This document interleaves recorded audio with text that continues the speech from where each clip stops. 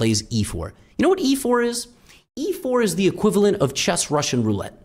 You want my bishop or my pawn or my pawn or my pawn or my pawn or my bishop or my pawn or my bishop or my pawn or my pawn, whatever. Doesn't matter.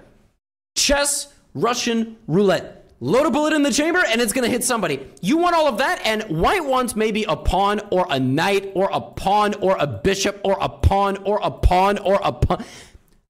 This is what's happening in this position. It's just what's happening. It- it- all right, now here we go. Let's roll the.